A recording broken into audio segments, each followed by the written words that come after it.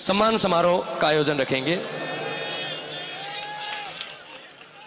हमारे बीच उपस्थित हैं आज के मुख्य अतिथि आदरणीय कन्हैयालाल जी।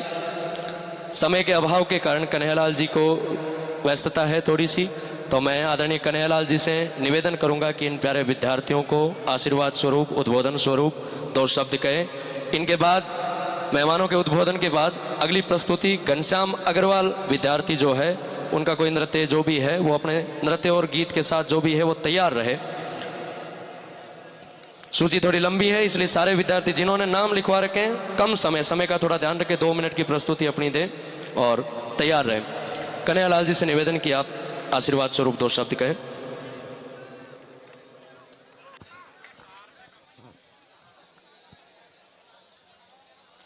सम्मानित मंच।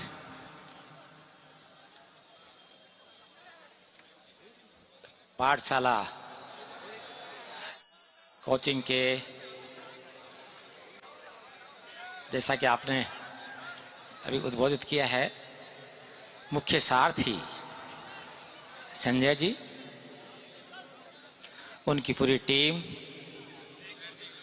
और आप सबको पढ़ाने वाले कोचिंग देने वाले, जो आपके विभिन्न विषय हैं उनमें गाइड करने वाले सभी फैकल्टीज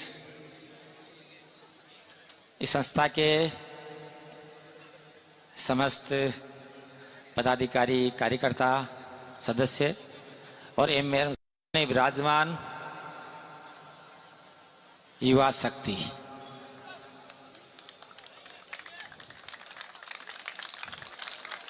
आप में से कुछ वो लोग हैं जिनका किसी न किसी सेवा के लिए चयन हुआ है। जैसा कि अभी बताया, उनका सम्मान भी होना है अभी। और दूसरे वो लोग विद्यार्थी बैठे हुए हैं, अभ्यर्थी बैठे हुए हैं, जो आगे तैयारी कर रहे हैं। विभिन्न परीक्षाओं की तैयारी कर रहे हैं। और कुछ उनके अभिभावकगण भी हैं। तो मैं सबसे पहले तो जिनका चयन हुआ है किसी भी सेवा में, उनको सबको बहुत बहुत बधाई देना चाहता हूँ और उनको भी शुभकामना देना चाहता हूँ कि वो जिस सेवा में चयन हुआ है, वहाँ जाकर के बड़ी सफलतापूर्वक उस सेवा का निर्वाह करें। और साथ ही वो अभ्यर्थी जो अभी और आगे तैयारी कर रहे हैं उन सबको भी मैं बहुत बहुत शुभकामनाएँ देना चाहता हूँ कि आप सब जो हैं अपने लक्ष्य में सफल हों और आगे जाकर के देश का, समाज का, अपने स्वयं का और परिवार का नाम रोशन करें।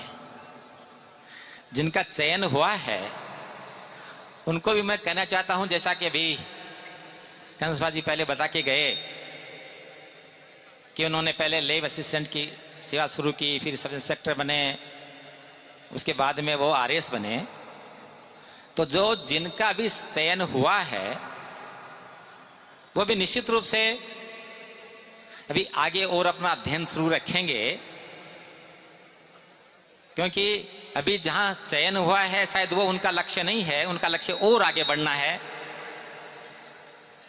इसलिए आप सभी प्रशासनिक सेवा में जाएँ। राज्य प्रशासनिक सेवा, आरएएस और केंद्रीय प्रशासनिक सेवा, आईएएस इत्यादि में आपका चयन हो। इसके लिए मुझे आपको सबको बहुत बहुत शुभकामनाएँ मैं अभी दे रहा हूँ अभी से। और जिनका चयन हुआ है, वो भी आगे बढ़ें, और आगे बढ़ें। और जिनका भी नहीं हुआ है, वो भी, मैं तो यही कहूँगा कि उसके बाद में वो तुरंत ही उनका सीधा ही आई एस आर एस में सिलेक्शन हो। और नहीं तो ये स्टेजेज है। क्योंकि बहुत कम लोग ऐसे होते हैं जो सीधे ही सिलेक्ट हो जाते हैं आईएएस में।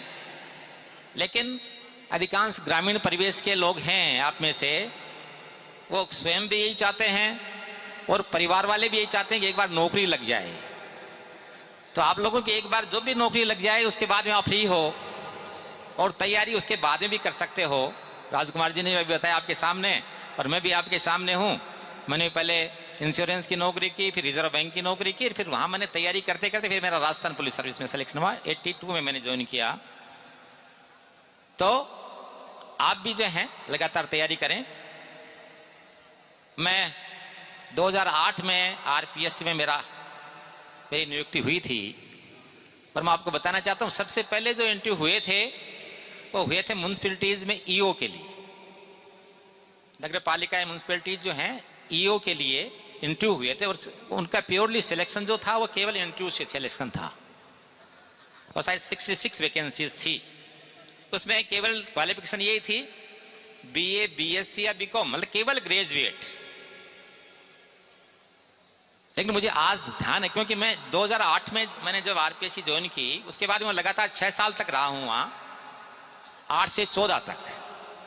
तो वो जो फ़र्स्ट बैच जो ईओ का आया था, उस फ़र्स्ट बैच ने लगातार अगले जिन भी इंटरव्यू आरएस के इंटरव्यू भी हुए, स्कूल लेक्चरर के इंटरव्यू भी हुए, और दूसरी सेवाओं के भी हुए, जो अच्छी सेवाओं के हुए, उनमें वही कैंडिडेट कई बार देखने को मिले, और उस छह साल के टेन्योर में ही वो जो म्यूनसिपलिटी ईओ बने थे, उसमें काफ़ी लोग आरएस बन गए। तो इसलिए जिनका भी आपका सिलेक्शन हो गया है तो आप इजी हो गए कि ठीक है, नौकरी हाथ में है, लेकिन नौकरी करते करते भी आप अच्छी तैयारी करें ताकि आप जो है निश्चित रूप से अपने लक्ष्य तक बढ़ सको। पहले भी आपको बताया कि तैयारी करने के लिए, क्योंकि मैं छह साल वहाँ रहा हूँ, जहाँ राजस्थान की प्रत्येक सेवा का जो कर्मचारी, उसका सिलेक्शन वहीं से होता है। मैं जब था, तब सबॉर्डिनेट कमीशन भी नहीं था। हमारे टाइम पर ही हमने ही प्रपोज किया कि आरपीएससी का वर्कलोड बहुत ज़्यादा है तो सबॉर्डिनेट कमीशन बने और उसमें सबॉर्डिनेट कमीशन बनाया गया। तो आज जो वो परीक्षाएँ, वो सेवाएँ, जहाँ इंटरव्यू नहीं है, अर्थात वैसे स्केल तय कर रखिए, जो सेकेंड ग्रेड स्केल है, उस तक की भर्तियाँ सबॉर्डिनेट कमीशन करता है। और उसके अलावा जो हायर सर्विसेज़ हैं उनकी भर्तियाँ आरपीएससी करती है।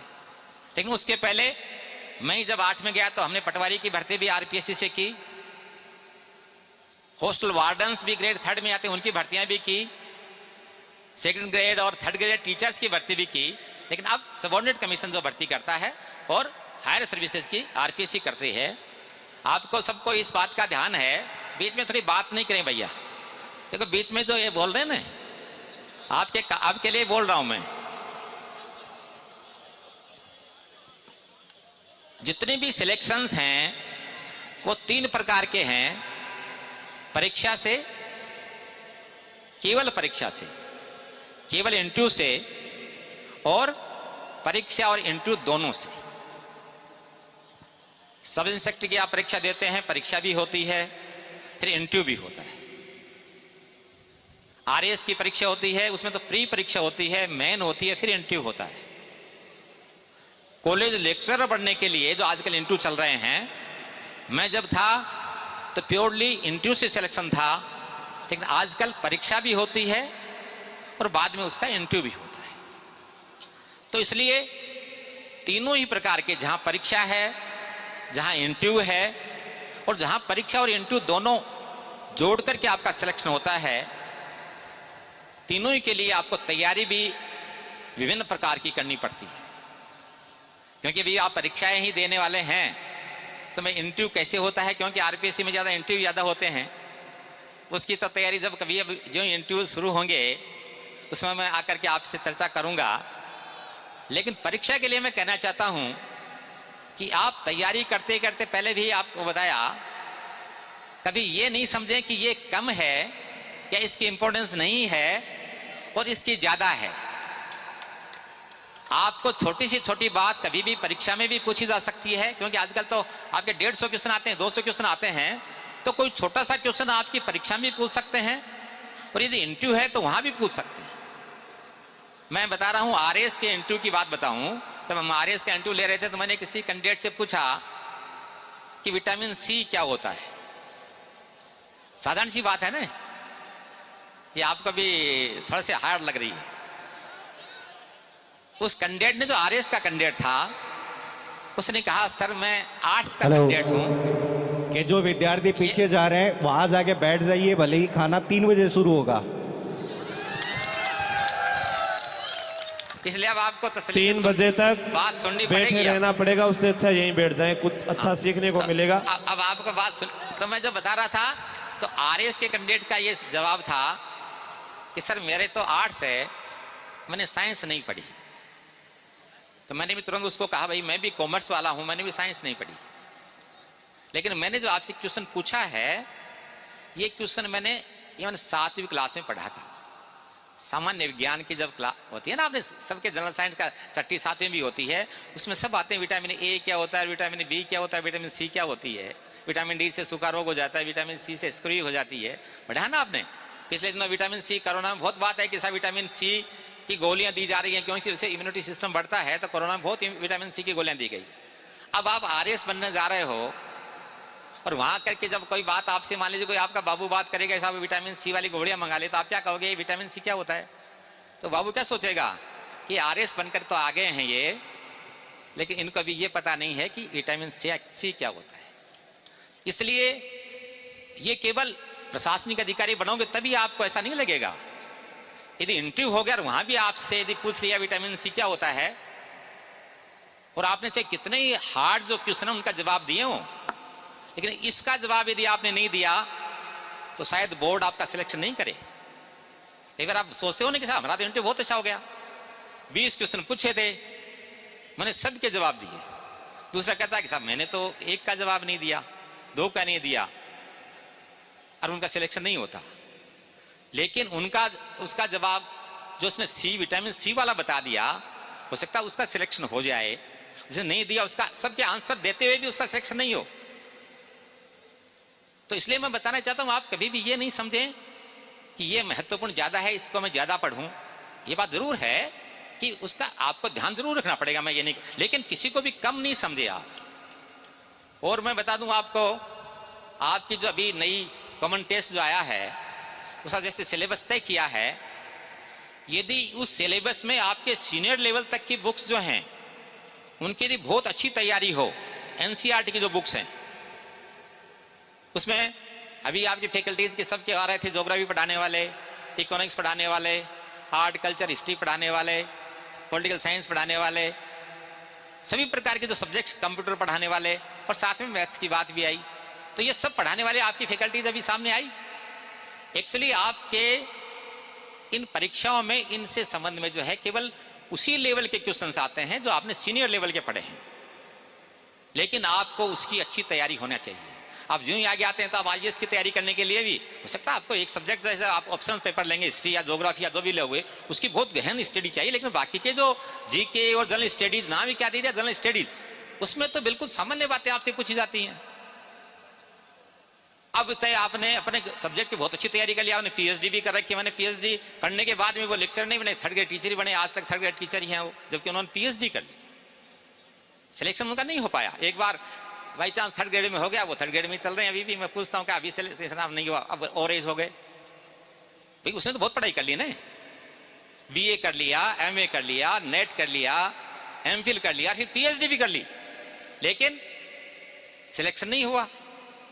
और मैं जब आरपीसी में था, एक लड़का जो आया, जो एम ए जोग्राफी में, बस उस समय की थी उसने। तो इंटरव्यू देने के लिए जब आया तो मैंने पूछा, क्या किया तो उन्होंने कहा मैं? एम ए जोग्राफी में हूँ, और मेरा आई एस अलाइड में सिलेक्शन हो गया। अभी मैं बड़ौदा में डिफेंस अकाउंट सर्विस में मेरा सिलेक्शन हुआ है, उसकी ट्रेनिंग कर रहा हूँ। और वो केवल एम ए रिज़ल्ट आया ही था उसका उस समय। अर्थात उसने बीए करते ही आईएएस का फॉर्म भर दिया जोग्राफी से एमए करने लग गया, और एमए करते करते उसका आईएएस में सिलेक्शन हो गया। मैंने पूछा, जो तुम्हारा आईएएस में सिलेक्शन हो गया तो अभी अभी दोबारा क्यों आए हो तुम? तुम तो आईएएस पहले से ही हो। अब स्वाभाविक है, ग्रामीण परिवेश का था तो उसने तुरंत सीधी बात की मैं तो एसडीएम या डिप्टी बनना चाहता क्योंकि ग्रामीण परिवेश में आप जानते हो आप लोग जानते हो एसडीएम या डिप्टी बहुत बड़ा लगता है आप लोगों को। लेकिन सेंट्रल सर्विस में जाते हैं तो वो जो, वो सेंट्रल इंडियन डिफेंस अकाउंट में था अब उसको तो ये लग रहा था गाँव में तो किसको ज़्यादा बड़ा मानते थानदार, तहसीलदार को बड़ा मानते एसडीएम डिप्टी को बड़ा मानते हैं? तो फिर मैं, हमने पूरे बोर्ड ने ही हमने उसको समझाया कि आप बहुत अच्छी सर्विस में हो, सेवा में हो, आप तो जाकर के ऑल इंडिया लेवल पर टॉप पर पहुंचोगे रिटायर होते होते। और आर एस या आर बनोगे तो ज़्यादा आप तुम आई बन जाओगे सेक्रेटरी बन जाओगे। लेकिन उसका तो वही धुन थी नहीं सहमत हो। आर या आर ही बनना चाहता हूँ। उसका इंटरव्यू बहुत अच्छा इंटरव्यू था। तो मैं आपको बताना चाहता हूँ, उसने केवल बीए करके एमए करते करते ही और उसका आईएएस में सिलेक्शन हो गया। क्योंकि आपको इस बात का पता है ना कि सबसे कम क्वालिफिकेशन जो आज है, वो आईएएस की है आरएएस की है। बाकी सबके लिए कि आप थर्ड ग्रेड टीचर तब बनोगे जब बीए करके आप बीएड कर लोगे। बीएससी करके आप बीएड कर लोगे। लेकिन आईएएस के लिए केवल ग्रेजुएट चाहिए। और ग्रेजुएट भी केवल अपियरिंग इस बात का आपको पता कि नहीं पता? अपियरिंग चाहिए। जिस साल आप फाइनल में परीक्षा देने वाले हो, उस साल यदि आईएएस की परीक्षा आईएएस का वैकेंसी निकली है, यदि आप अप्लाई कर दोगे तो आप आईएएस के लिए अप्लाई कर सकते हो और आपका सिलेक्शन भी हो सकता है। मैं अभी ऐसा एक उदाहरण आपके बांसवाड़ा के लड़के का बताऊँ। जिसने बीए किया फाइनल में था आरएस की वैकेंसी निकली, अठारह वाली। अठारह वाली। उसने लड़का बड़ा इंटेलिजेंट था, मैंने भी उसको मोटिवेट किया क्योंकि मैं लास्ट में एसपी बांसवाड़ा रहा हूँ। इस नाते से मेरा वहाँ के बच्चों से काफ़ी अभी भी संपर्क है, अभी भी मैं जाता रहता हूँ आपकी तरह जैसे बात करता हूँ, बच्चों से काफ़ी बात करता रहा हूँ। ट्राइबल एरिया बहुत पिछड़ा हुआ है, आप तो जयपुर में रहते हो। लेकिन ट्राइबल एरिया का नाम सुनते ही लगता है कि वास्तव में बहुत पिछड़ा हुआ है। लड़का बड़ा इंटेलिजेंट था। वो पहले अच्छे मार्क्स थे उसके सीनियर में तो यूनिवर्सिटी में एडमिशन लिया, लेकिन यहाँ वो महीने भर रहा, बाद में चला गया वापस। साहब, मुझे तो जयपुर का मामला पसंद नहीं आया, मैं तो यहीं आके पढ़ाई करूँगा। तो लगातार मेरे संपर्क में था। उसने बीए जब फाइनल देने वाला था, अठारह वाली आरएस की वैकेंसी निकली, उस, मैंने कहा तुम अप्लाई कर दे। उसने अप्लाई किया। जो बीए का रिज़ल्ट आ गया प्री का रिज़ल्ट आ गया पास हो गया वो। उसने वहीं बीएड करना शुरू कर दिया। और साथ साथ ओपन से उसने एमए करना शुरू कर दिया हिस्ट्री से। उस बीच में उसका मेन का रिज़ल्ट भी आ गया इंटरव्यू भी हो गया। उस दो साल में वो उसका आरएस में सिलेक्शन हो गया। उसने बीएड कर ली और उसने ओपन से एमए में एमए हिस्ट्री में भी कर ली तो इसलिए मैं कहना चाहता हूँ कि आप लोगों को निराश होने की, आपके पास बड़ा समय बहुत महत्वपूर्ण है। इस समय का आप कैसे सदुपयोग करते हो? और साथ ही यह भी है कि आप पढ़ते हो, निश्चित रूप से पढ़ते हो, बहुत पढ़ते हो, अठारह घंटे पढ़ते हो, पंद्रह सोलह घंटे पढ़ते हो, लेकिन क्या पढ़ते हो यह भी बड़ा महत्वपूर्ण है। क्या पढ़ते हो यह बहुत महत्वपूर्ण है इसके लिए आपकी फैकल्टीज को मैंने देखा है आपका और फैकल्टीज का बड़ा जिस का सौहार्द और स्नेह प्रेम मैंने देखा है बड़ी खुशी की बात है। तो, तो आपको गाइड करने वाले क्योंकि मैं आज अब आप एक दिन में नहीं बता सकता लेकिन डे टू डे आपको डेली बताते रहते हैं तो उनके गाइडेंस में आप क्या पढ़ते हो लेकिन कैसे पढ़ते हो दोनों ही बातें उनसे पूछें। और वो जिस प्रकार से आपको गाइड करते हैं आप अच्छी तैयारी करें। मैंने केवल शॉर्ट में आपको ये बताया कि आप मेहनत करें और किसी को छोटा, बड़ा नहीं समझे, क्योंकि आपके पास समय बहुत समय है। मैंने बताया, अभी तो है आपके पास। अब आपको मैथ्स नहीं आती होगी, लेकिन आपको शर्म नहीं आनी चाहिए इस बात को। आपका जो भैया, जो छोटा भैया, जो सिक्स में पढ़ रहा है सेवन में पढ़ रहा है, उसकी मैथ्स की किताब आपको अभी भी पढ़नी चाहिए। अभी नया वाला जो सिलेबस आया ना, उसमें अर्थमेटिक है। उसमें मैं प्रतिशत निकालना ब्याज निकालना एक एक प्रणाली ये के हैं। यदि मान लीजिए उनके डेढ़ सौ में से दस क्वेश्चन आ गए यदि आपने अच्छी तैयारी की तो दस में से दस वो तो आने ही हैं आपके। तो इसलिए कुछ ऐसे आंसर हैं जो आप यदि एक बार पढ़ लेंगे तो ज़्यादा मेहनत नहीं करनी पड़ती। तो आपको निश्चित रूप से लेकर यदि आपने बिल्कुल नहीं किया तो नए सिरे से यदि कर, करना चाहते कतई शर्म नहीं आनी चाहिए आपको नए सिरे से करके क्योंकि वो जब बेसिक नहीं आएगी तो आप आगे भी नहीं बढ़ पाओगे। तो बेसिक से तैयार करके अब करने चाहिए आपके जो टीचर्स बैठे हैं फैकल्टीज बैठे हैं, सब प्रकार के बेसिक्स और आपको हायर और सब बताने के लिए तैयार बैठे हैं। तो आप इस समय का सदुपयोग करें। आपके परिवार वालों ने बड़ी आशाओं के साथ आपको यहाँ भेजा है। जनरली सामान्य परिवार के सभी लोग हैं। तो आप जो हैं, अपने घर वालों को, परिवार वालों को, समाज वालों को निराश नहीं करें। अच्छी तैयारी करें और जब यहाँ आए हो, आप घर बार छोड़ करके यहाँ बैठे हुए हो, आगे जा करके ज़िंदगी में सफल हो। आपके ताकि आपके घर वालों की भी बड़ी खुशी हो, आपको भी बड़ी खुशी हो और आप भी जीवन में आपका एक यदि मान लीजिए आप ग्रेड थर्ड टीचर बन जाते हो और आप यदि वही आरपीएस या आईएएस बन जाते हो तो आपका लेवल कितना बढ़ जाता है आप जानते हो समाज में? तो इसलिए मैं आज इस मौके पर आपको उन्हें बधाई बहुत बहुत बधाई और शुभकामनाएँ देना चाहता हूँ। सब लोगों ने आपने मुझे सुना, बड़ी खुशी की बात है। आज युवाओं में, वैसे मैं कोई सामान्य उस रूप से मैं कभी मनाई लेकिन बड़ी खुशी इस बात की भी कि आज युवाओं में अपने आप को पाकर के मैं बड़ी खुशी और महसूस कर रहा हूँ कि आप लोग जो है, है? क्योंकि क्योंकि आज इसलिए आज मैं बड़ा मानता हूँ संजय जी ने मेरे को कहा तो अब बाकी की तो जानते ही हो जन्मदिन में कोई नहीं मनाता लेकिन आज दो तारीख आज मेरा खुद का भी जन्मदिन आज है। तो इसलिए आज आप युवाओं आप युवाओं के मध्य पाठशाला परिवार की ओर से जन्मदिन की हार्दिक शुभकामनाएँ sir. Thank thank you thank you इसलिए आज युवाओं में पाकर के बड़ी खुशी होती है। मैं जाता रहता हूँ, यही नहीं हूँ। अभी मैं कुचामण गया था, करीब 200 बच्चों को ऐसे ही मोटिवेशन के नाते से जाकर के आया था। वहाँ छोड़ा मैंने बताया, जाता रहता हूँ। बाकी करता हूँ तो फिर मैं आता रहूँगा। संजय से मेरे पारिवारिक संबंध है। आप लोगों के मध्य आता रहूँगा। पुनः बहुत बहुत धन्यवाद। संस्था के सभी लोगों को बहुत बहुत धन्यवाद। मुझे सम्मान दिया, उसके लिए बहुत बहुत जय हिंद, जय भारत।